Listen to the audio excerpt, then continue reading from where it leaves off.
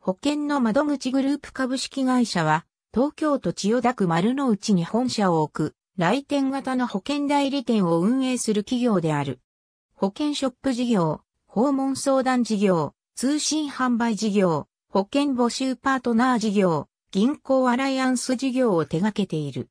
ソニー生命でトップセールスマンとなった今野のりおが販売代理店として独立して創業。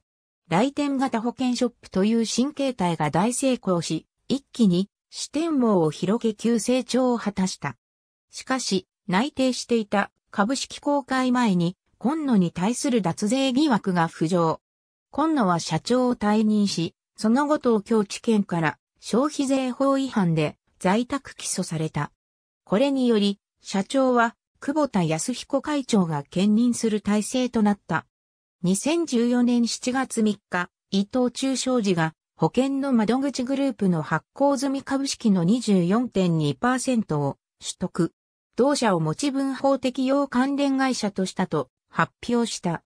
複数の保険会社の商品の中から中立の立場で提案することをモットーとしているとされるが、これに対しては疑念が報じられている。